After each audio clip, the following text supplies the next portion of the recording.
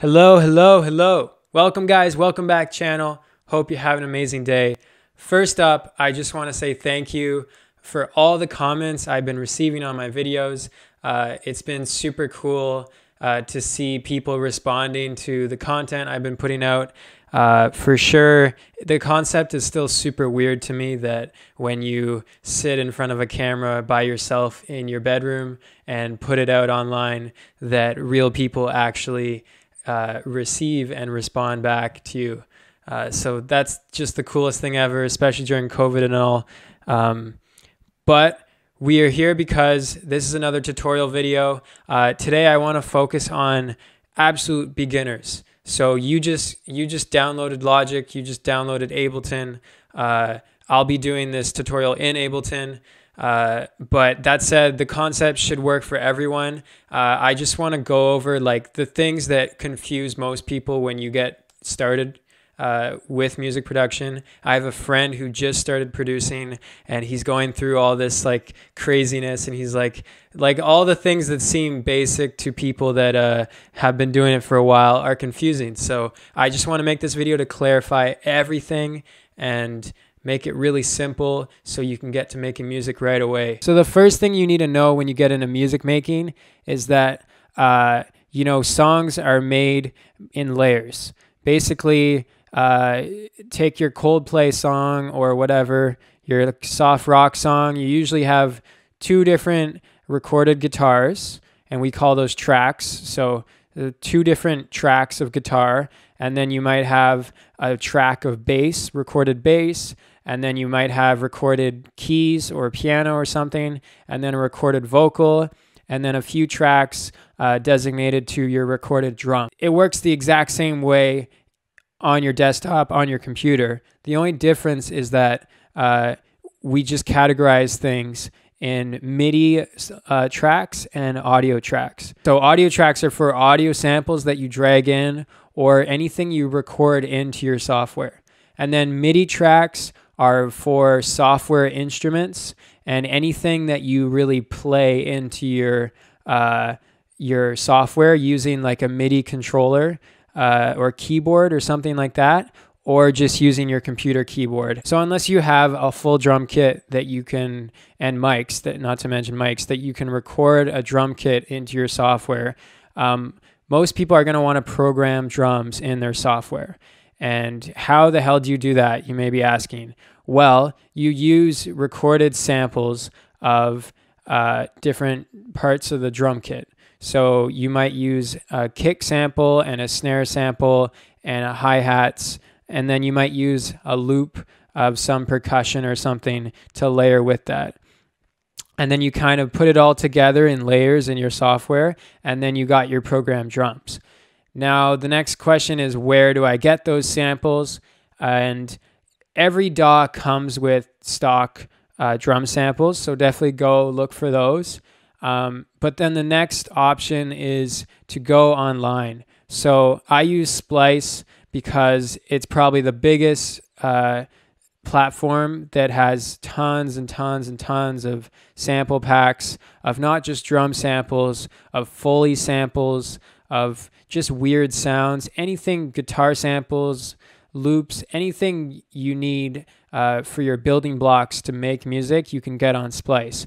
Uh, the issue with Splice is that it's $11.99 in Canada a month, which is not super cheap, but uh, I think it's worth it uh, if you're making a lot of music and it's just convenient. Uh, now, other places you can get uh, this is not a sponsor video because I don't have any sponsors, by the way, but. Uh, the other option is to go to places like Reddit, um, and then there's a bunch of other websites. Cymatics uh, is a company that has a lot of free samples that are really great. Um, but basically, you can scour the internet to find different drum samples. And really, that's part of producing. Uh, people think producers just spend all their time making sick beats but you know half the time they're just like clicking through drum samples on their computer trying to find like that perfect snare the only issue with splice is that the a lot of the samples are used a lot and Um, you know, it's like any other kind of social media. The website shows you what's featured at the moment and what's kind of popular. And sometimes, as a producer, you don't always want to be using uh, audio samples that are popular because you don't want your stuff to sound like everyone else. You want to be original, right? So you have to dig a bit on Splice to find good samples. The next thing you need to get to figure out and to just memorize is what are the names of the different parts of the drum kit. That way you can search up what you're actually looking for when you're trying to make something. The main types of drum samples are kicks, uh, claps, or snares. Uh, they're both kind of synonymous. And then in terms of their role in the beat, and then hi hats, open hats, and uh, maybe percussion. So that's like a snare roll. Um, so there's all kinds of things that you'll just learn the terms that you need to search what you're looking for. And then you just download the audio sample by clicking the down arrow here. And then you get this cute little app here that uh, Splice has going where you just can basically search whatever you're looking for. The other option is to download them on your hard drive. And then in this nice little Ableton uh, folder section, you can go through all your samples. Okay, the next question is how do you actually program your drums? Well, uh, there's two ways basically. One way is to use MIDI of some in some way and then the other way is to just use the audio samples and patch them together. The way I do it is by just dragging in audio. Um, I actually got into that by watching Ramzoid videos. If you don't know him, you definitely know him. He's like one of the biggest YouTubers in this niche, and uh, he's super cool.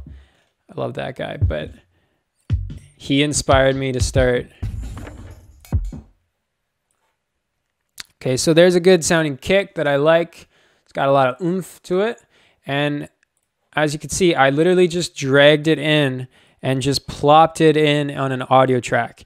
Now you'll notice you can't drag these into a MIDI track because it's not MIDI, it's audio. Um, and then all you do is you, you know, you just copy paste that audio sample on the grid to where you want it.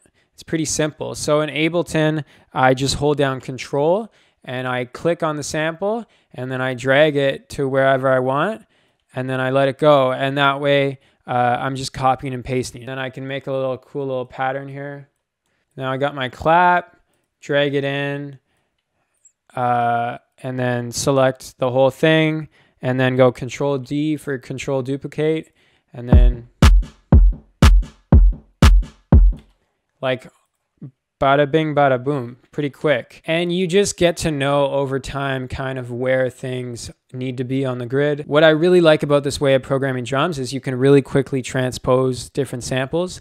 And I think that's a huge thing you guys need to get into doing if you're new to production is right away when you're programming drums, you should always be pitching them up and down. Uh, this, this, that's what transposing means. Uh, just to make sure that they sound right and fit with the rest of your tune, whatever you're making. So I have this group. So this hi-hat, open hat, it's, it's kind of loud and it's kind of long. So I can just pitch it up here by selecting all four of them.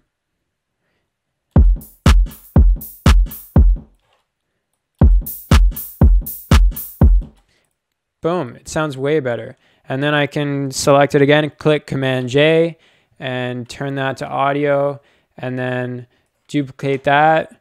Now the other way to uh, do drums is through MIDI. So uh, what you do is you get a sampler, uh, which is basically this plugin. If you don't know what plugins are, they're just software instruments, basically, or effects.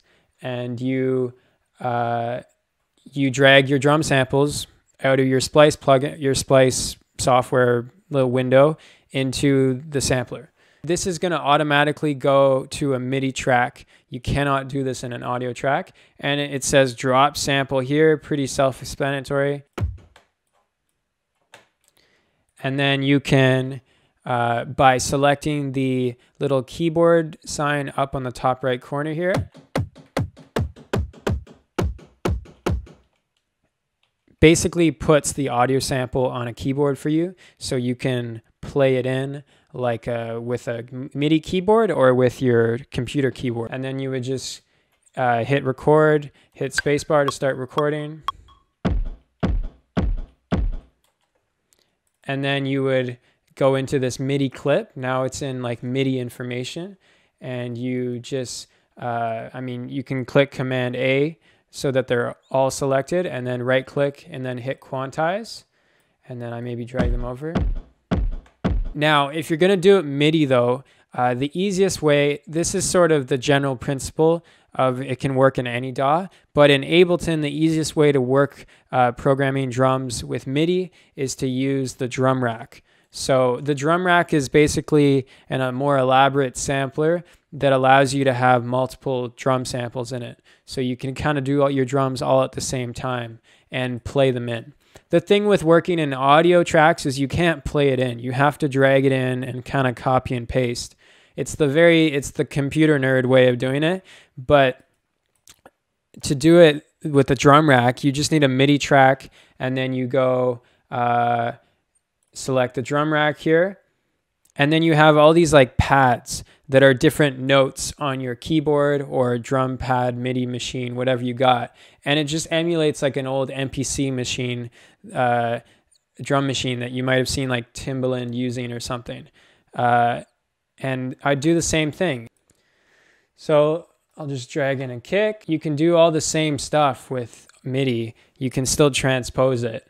You can see when I click on the sample here, shows the sample. You can do all kinds of cool things by shortening the which part of the sample uh, is triggered. So I'm clicking on my keyboard and I have the little keyboard thing selected um, for my computer keyboard to be my MIDI controller, but it's not uh, it's not playing the drum samples. So what you got to realize is that this works in octaves. And if you don't know what octaves are, it's basically just different sections of a piano keyboard. You have low, mid, high, extra high kind of thing. Uh, sections of 12 notes or 12 semitones. But basically you what you need to do sometimes is you need to shift your little computer keyboard up or down an octave so that you can actually trigger the samples. Because these I place them on a certain octave so you need to be in that octave to be able to actually play them. So to do that uh, you go Z to down an octave and it's Y or X to go up an octave. So go Z. There's my kick. So then you can just play in a beat. And then you go in and then you can select, uh, you know, again, Command A, select them, quantize them to whatever grid you're on. Uh, so that brings me to the next thing is uh, when you quantize stuff, in Ableton, it quantizes to the grid setting that you are currently on. So most people have like the adaptive grid turned on. I don't know if you can actually turn it off. When it's zoomed out like this, in between each grid line is a whole bar. So four beats. And then when I zoom in, you know, we have, we can see all four beats. And then I zoom in even more, it goes down to a 16th, it goes down to a 132nd. You just need to know that because when you quantize things, if you quantize it to the zoomed out grid, it might sound bad because it's going to quantize it to the closest line, which is quite a ways, uh, you know, sometimes. Versus if you zoom in a bit and then quantize it there, it might be quantizing it to the closest eighth note or something versus quantizing it to the closest quarter note. That's it for the video, guys. I hope that clarifies everything, um, but it might not. So comment below anything you're confused about, and I will make a video on it. Um, yeah, please like, subscribe, comment, all that good stuff, and I will see you all in a future video. Bye for now.